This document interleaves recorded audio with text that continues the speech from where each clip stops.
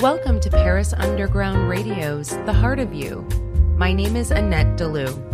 This is a podcast about Hello soul and welcome to the Chez Toi podcast on Paris Underground Radio. in this lifetime. I'm Emily Monaco, various modalities expert such and as professional consumer grounding and energy clearing, And I'm your resident wine expert, and Caroline exploring Connor. your past lives. And we both live in France, Over the next where 20 wine and cheese are episodes, I will also be meal, from the interviewing to experts in the fields of At Chez Toi, astrology, recipes submitted by home mediumship, cooks like you as well as perfect wine and the numerology. Join us every. Thursday for a brand new to episode. Go who to parisundergroundradio.com for more information. And don't forget to follow us on social media at is Paris Underground Radio dish on Facebook, Instagram, and Twitter.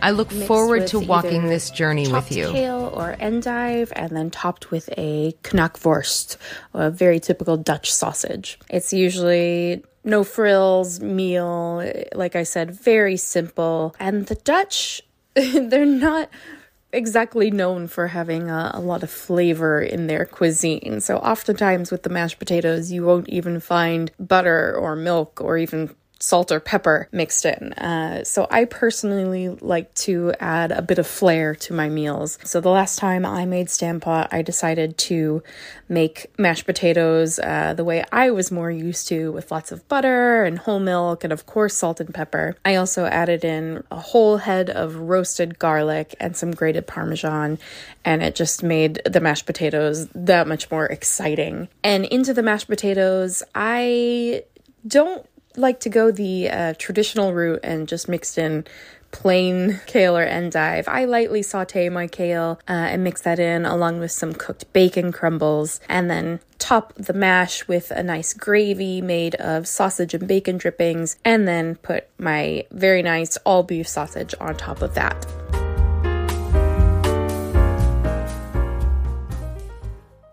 And thank you so much, Sherilyn. And uh, her name kind of rhymes with mine because my name is, well, Caroline. Yeah, are you you're Caroline, never Carolyn, right? Well, actually, so it's spelled Caroline, but my entire life, my mother called me Carolyn. And then I moved to England, and that was impossible. And then my brand became Wine Dine Caroline. And, you know, so now that is what I roll with. But not really. It was Carolyn. That's so funny. And I guess in France you're what, Caroline? Caroline, oui. Yeah, so I don't really care at all. People are like, oh, what is it? I'm like, don't even ask. It's so confusing because it's spelled Caroline. It's always been spelled Caroline. So, you know, just easier. All right. So yeah, this this recipe from Sherilyn is like super comforting, hearty, fair, and like I think it's it's interesting what she was saying about the Dutch not necessarily being famous for their cooking. like, yeah, like a lot of it is maybe more like sustenance based rather than pleasure based. Like we're talking Northern Europe here, so I vibe with Northern Europe, but definitely uh more hearty, meat on your bones kind of thing. yeah, I think I don't know anything really about Dutch food. Every time I've been in the Netherlands, I've eaten a lot of amazing food in Amsterdam, but it wasn't necessarily like Dutch food, you know, specifically. Yeah, I eat a lot of Indonesian food when I'm in Holland. that said, I have had some really delicious Dutch cheeses. I was actually recently in Holland on the island of Texel, which is like off the coast of mainland Holland in the North Sea. And they just have, it's just an island filled with sheep. I think there might be more sheep than people there. And there's actually a breed of sheep now that like they farm in the UK called the Texel sheep, like after these sheep from this like remote North Sea island. And so on Texel, they made a lot of sheep's milk cheese. And I even had the opportunity to taste maybe one of the strangest cheeses I've ever had, which was asparagus cheese. Ooh, weird. It was so odd. It was like made with asparagus grown in a field right next to our Airbnb, so I couldn't like not try it. Mhm. And I kind of dug it, but my friend I was traveling with was like, "No, this is way too weird." So that could just be me liking weird, weird stuff. I mean, I like asparagus. How is it asparagus cheese? I like explain this to me. It was chopped. It was kind of like if you see those like goudas that have pesto in them or like sun dried tomato. It was kind of like that, but it was like almost only semi soft. And so it had this like vegetal kind of feel to it. It was like, you know what it reminded me the most of? It had like a Babybel kind of flavor to it. Nice. Good. I liked it. I'm into a Babybel. Me too. I get a little uh, tomme de brebis from my market and it tastes like very expensive Babybel and I'm obsessed. I remember talking about this with a, a Saint Nectaire producer in the Auvergne and I was like, mm, this reminds me of something. And I knew what it reminded me of, but I felt like that was really rude to say. and she just looks me straight in the eyes and goes, Babybel And I was like, yeah. She's like, yeah, I know we get that a lot. Like, hey, that's a good thing. Everyone, everyone has fond memories of Babybel. So, right? um, you know, what I really love about this recipe is that she took the thing that you know was kind of admittedly boring, like mushed potatoes with greens in it, and made it so you know yummy. I mean, just all of the layers of yum. One or more whole heads of garlic. Yes, please. Everyone loves roasted garlic, right? And then we have bacon. Yes and just yeah i mean this sounds delicious anytime you can you know make kale unhealthy i'm here for it because you know in france we they actually really don't eat kale you know it's not it's not something that you see very often they do have it in decorative gardens and that's where i think it should remain but in this recipe i am actually called to the kale because we've got enough other delicious stuff to uh to make it work yeah, 100%. I think it's such a traditional Dutch dish that I was tempted when I was thinking about like a cheese to follow it up with of looking into the the Dutch cheeses because the Dutch have some amazing like Edam and Gouda. Mm-hmm. Their Gouda is so delicious that the people from northern France back, oh gosh, when was this? It's like Charles V, time of Charles V. So they wanted so badly to eat this Gouda, but he had put into place like trade embargoes. And so they stole the recipe, dyed it orange, and that's how we invented mimolette in France, is because they wanted Dutch cheese so badly in France. I love that. And I love mimolette, so that's pretty funny. Mimolette is fantastic. So I kind of wanted to pair it with a Dutch cheese, but then I sort of started thinking outside the box and actually realized that while those Dutch cheeses are delicious, this hearty, super flavorful, all that garlic, all that bacon, and even this kale, which I do, I will admit, I love it. I'm a little basic um, but it's got that lovely bitterness to it. And I thought with all that fat and smokiness and aroma, a hard cheese like that almost feels like it doesn't crescendo quite as much as I wanted it to. I was like, with all these big flavors, I think we can end with like really big flavor cheese. And I got this idea thinking about the bacon in the dish. It reminded me of one of my all time favorite cheese invention stories, which is so basically you've got a lot of monks in like the middle ages in france and they're super bored right? Because they're doing they're spending all their time illuminating manuscripts and like coming up with cool ways to make beer and cheese. Never have i ever been so happy for a bored monk. And in the north of france you have this abbey called maroilles and a monk there actually invented a cheese of the same name a washed rind cheese that a lot of people say is probably the first washed rind cheese in france.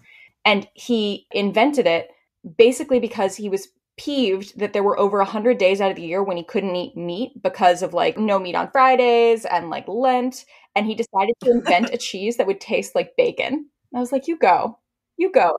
Yeah, for sure. I'm here for that. And so that's kind of this whole washed rind family, like all those sticky, stinky, Jim Saki orange ones, Epoisses and Livarot, and all of those kind of come from this idea of washing the outside of a cheese in brine solution, or in the case of some of them, like Epoisses, you wash it Marc de Bourgogne, which is, as mm-hmm. you know, a grappa, like a super intense alcohol that makes that one even more pungent than the others. Mm. And then, so you have these really orangey cheeses only on the outside, not on the inside like mimolette and cheddar, but only on the outside. And this original one, this this maroilles, is really pretty smelly. Like, let's be honest here. It's not one you want to take onto public transportation, but. Oh, this this has to be left in the garden if you don't finish it. You can't put it back in the fridge. Yeah, exactly. Go put it in the garage or something. Get it out of your mm-hmm. house. But unlike some of the other ones, its bark is a little worse than its bite. It's got that stink, it's got that funk, but it's a little bit denser and more solid than some of the other ones are, so it won't run all over your plate. And like on the inside, it's got the texture of almost a very unripe brie mixed with a Babybel, but like on a hot day. it's not goopy, not runny, but soft. And it doesn't spread. So, like when you slice it, it keeps its shape. It's kind of like chalky on the inside, and even the creamy parts are never going to go runny. And so, I think it's got that almost meaty texture to it. So, it's going to stay pretty firm and it's also unique, oddly enough, in that it's square shaped. That's a rarity now in France, but that used to be really common. Um, and it's the idea that this is like pretty much one of the oldest cheeses in France. So it's going to stay square shaped, especially in the north where they don't have supple enough wood to make round cheese molds. So they make square cheese molds. And so this bacony, really old style, kind of funky, assertive cheese, I think is going to work really well following like all of that garlic and the bacon and the kale, which when you cook it down gets on this bitterness and kind of the creaminess of the potatoes. I think that something that's salty, meaty, briny with this toothsome chewiness and that assertiveness, I think would work really well following this stamppot dish. We'll be right back after a word from our sponsors.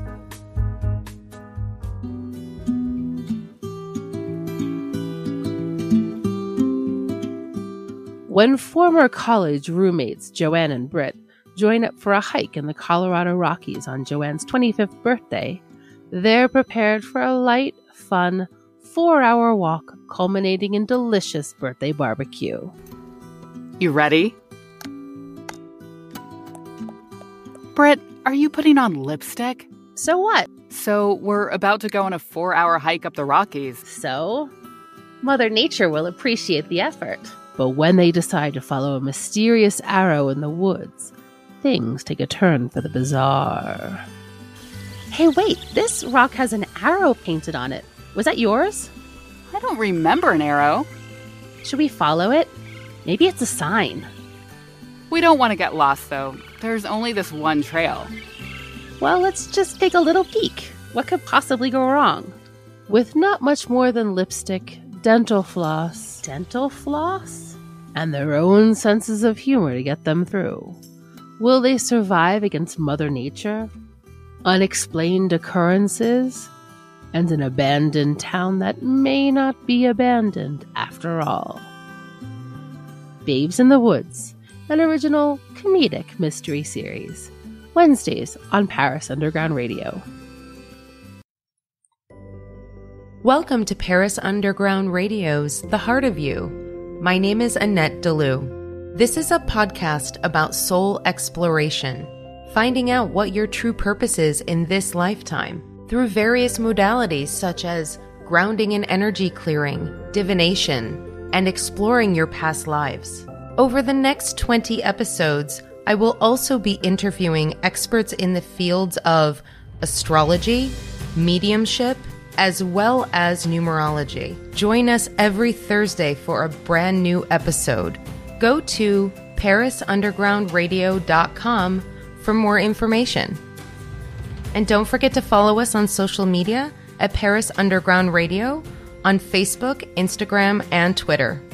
I look forward to walking this journey with you. And now, back to Chez Toi.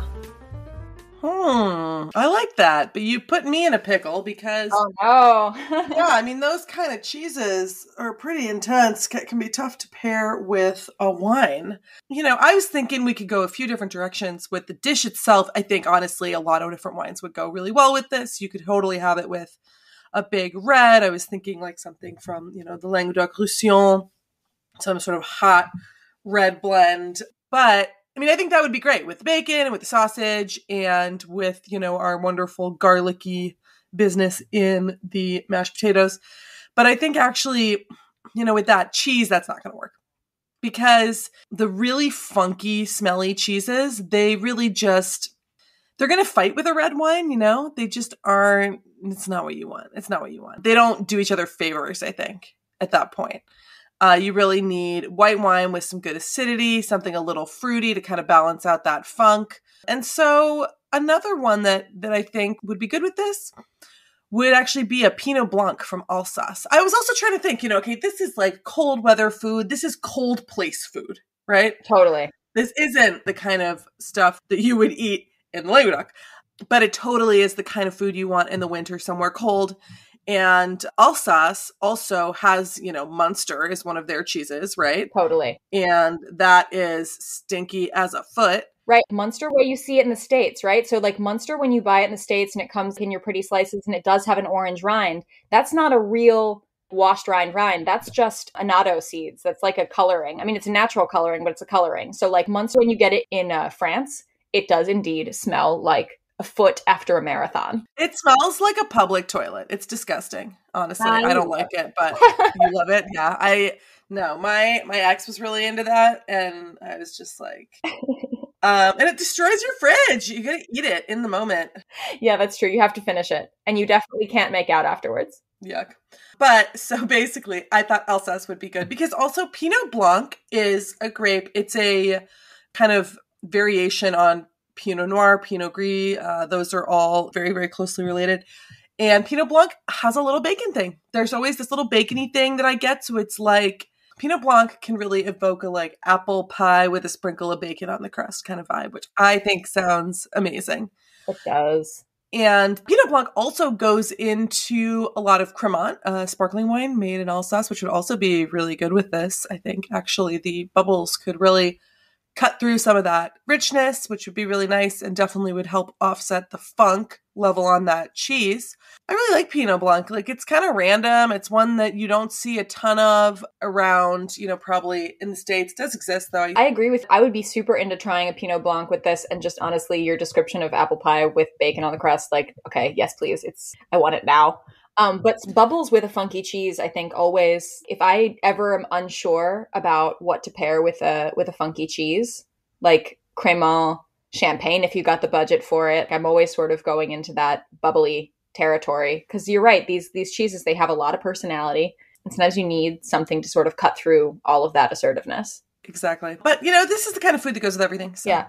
And when you talk about bacon in the Pinot Blanc, I actually I'm curious because we're both American, you are also British. Bacon means different things to different people around the world. And in France, I think they don't use quite as much smoke as we do in the States. So when I say bacon in terms of the cheese, a lot of people are like, this doesn't taste like bacon. And it's like, no, it does. But if you took the smoke away, so it's almost more like hammy. Do you get any of that like smoke suggestion in in the wine, or is it sort of more of that salt and meat type baconiness? No, it's a smoky thing for sure. Smoky thing? That's so cool. Yeah, it is cool. I love it. All right. Well, thank you so much, Sherilyn, for sharing this recipe. I am really eager to try it. I think that my vision of what Dutch food is is probably changed. Next time I go to Amsterdam, I won't just eat Indonesian food, which is amazing in Amsterdam. Fun fact. Well, yeah, you can have your mashed potatoes with kale. And you know what? If you're making kale delicious, I'm here for it. I know I shouldn't I shouldn't hate on kale. Kale is fine. kale is fine when it's planted in a decorative flower bed. Kale is fine when it's planted in mashed potatoes. Amazing. To learn more about the recipe featured today and to see photos of the meal, please go to parisundergroundradio.com. To have your recipe featured in an upcoming episode of Chez Toi, please email us at parisundergroundradio at gmail.com. You can find me, Emily Monaco, at Emily underscore in underscore France on Instagram and Twitter. And you can find me, Caroline Connor, at Wine Dine Caroline on all the things. This episode was produced by Paris Underground Radio. The music is A Night Alone by Track Tribe. For more about the Chez Toi podcast and podcasts like it, please go to parisundergroundradio.com. Thanks for listening and bon appetit.